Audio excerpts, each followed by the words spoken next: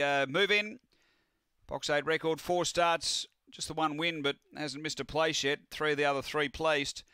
And uh, they are being placed in 270 for Blue Star Panther. And uh, green light is on. We're set to race. First division of the fifth grade. We're ready. They're racing now. Speed Blue Star Panther headed off early by Black Boots. Superior speed by Black Boots gets over to lead. Blue Star Panther booting through. Three away. Hey Grace. Then Turbo Raider. Rhinestone Ash and Rhinestone Blake up front.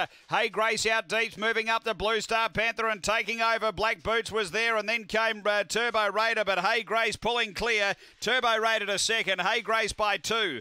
Turbo Raider second, Rhinestone Blake third, then Black Boots, uh, Blue Star Panther, and Rhinestone Ash. The time uh, around 23.40 after race two.